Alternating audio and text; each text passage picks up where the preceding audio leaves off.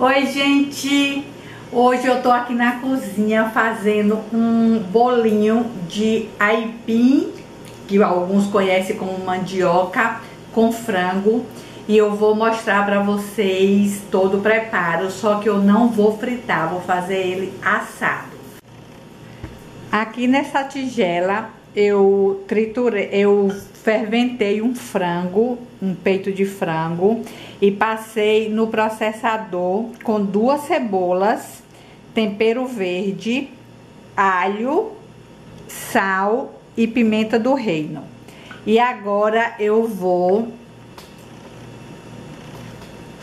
pegar esse aipim que já tá cozido e vou passar no processador e depois eu vou juntar com isso aqui.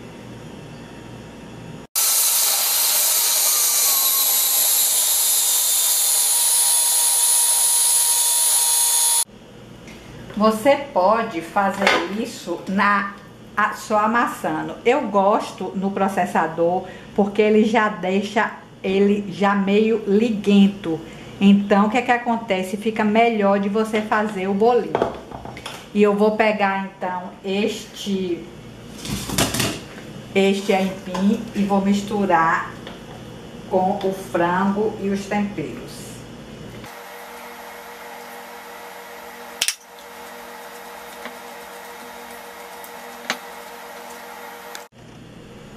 Depois que você misturar tudo, você coloca uma colher, duas colheres, aliás, de azeite.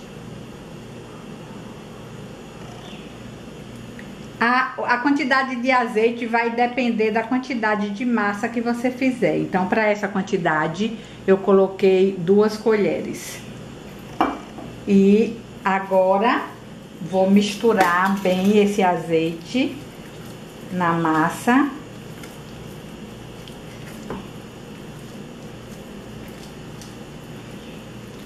coloca só um fiozinho de azeite na numa assadeira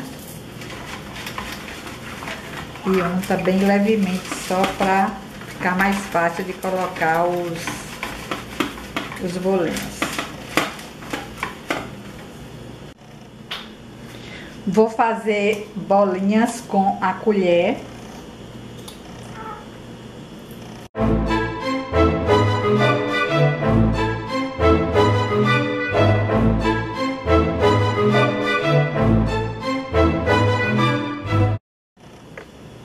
E como aquilo sempre gosta de uma coisinha mais gordinha, eu vou fazer tipo um escondidinho aqui pra ele. Então, vou colocar aqui no fundo de uma assadeira um pouco da massa.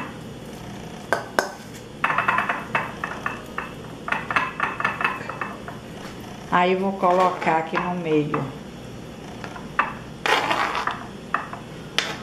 um queijo e um presunto picado.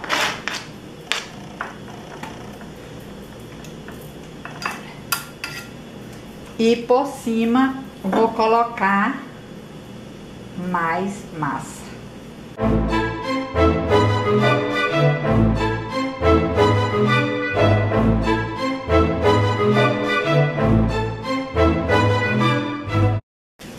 E por cima vou colocar um queijo parmesão ralado.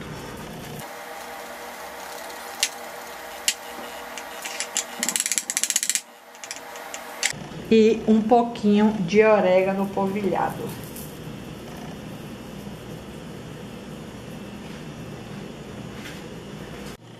E pronto, ficou mais ou menos uns 40 minutos no forno. E ele ficou assim Gente, eu vou falar uma coisa pra vocês. Fica hiper suculento e muito gostoso. Se você não tem problema com fritura, você pode fritar. Com certeza vai ficar bem mais gostoso. Mas como a gente não gosta, a gente fez assado. E tá com a cara muito boa. Eu amei o bolinho, ficou muito suculento, muito delicioso. É, ficou um pouquinho salgado, porque quando cozinho, quando Ah, embolei tudo. Quando cozinhou o aipim já tinha colocado sal e eu esqueci. Mas ficou muito bom. Espero que vocês tenham gostado da receita. Façam que vocês vão adorar. É simples, é rápido e fica maravilhoso. Não esquece de clicar em curtir. Um beijinho e tchau.